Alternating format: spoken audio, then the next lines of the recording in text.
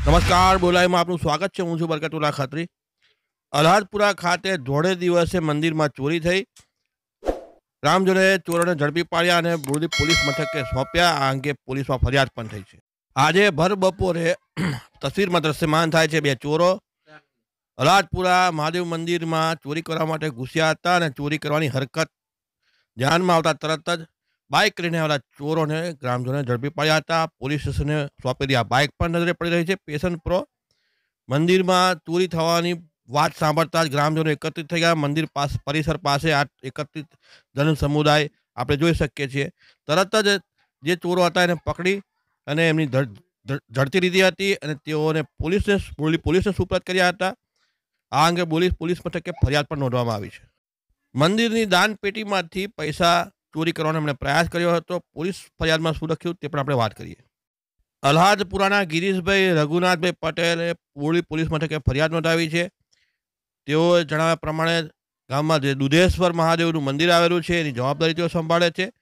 બારેક વાગ્યાના સુમારે બપોરે તેઓ એમના ઘરે હાજર હતા. ગામના જિગ્નેશભાઈ એમને ફોન કરીને જણાવ્યું હતું કે મહાદેવ મંદિરમાં ચોરી થઈ છે. બે માણસો કેનાલ તરફથી ભાગી ગયા છે તેથી તેમની તરત જ પોલીસે જાણ કરી હતી. ધર્મેશભાઈ ભક્તુભાઈ, જિગ્નેશભાઈ ચોરો પાછળ દોડ્યા હતા. કેનાલ તરફ તરત જ મંદિરે પહોંચેલ અને પોલીસ પણ આવી ગયેલ અને ચોરી ચોરી કરી ભાગી ગયેલ. બંને માણસો કેનાલ પાસેથી પકડાઈ ગયા હતા અને તેઓએ દુધેશ્વર મહાદેવ મંદિરે જઈને જોયેલ તો દાનપેટી તોડી અંદરથી રોકડ રૂપિયા ચોરી કરી જતા રહેલા અને પકડાયેલ બંને માણસો પાસેથી તપાસ કરતા રોકડા રૂપિયા ચાર હજાર ત્રીસ મળી આવેલા અને મંદિરમાં દાનપેટીનું તાળું તૂટેલું હતું.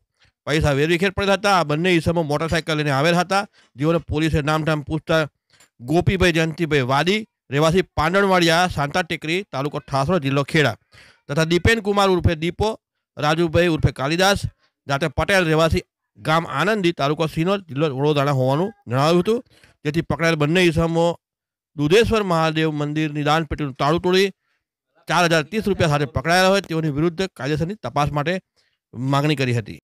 અલ્હાદપુરામાં આ પ્રકારની ચોરીના બનાવને લીધે ચકચાર મચી ગઈ હતી.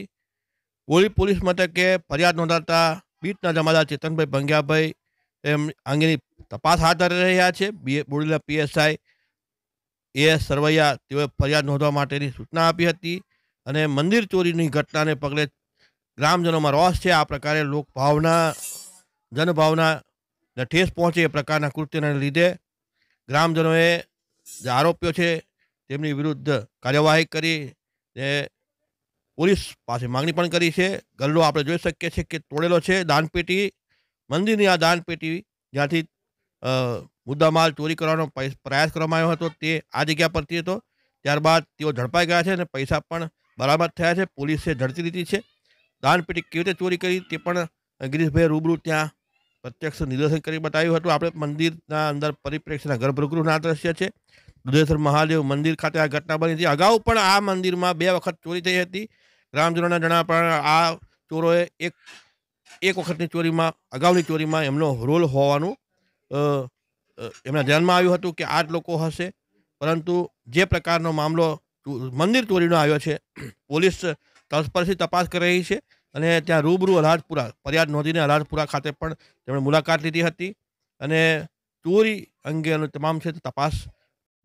જો આપે બોલેલા યુટ્યુબ ચેનલ સબસ્ક્રાઈબ ન કરી હોય, તો સબસ્ક્રાઈબ કરી બે આઇકન જરૂર દબાવશો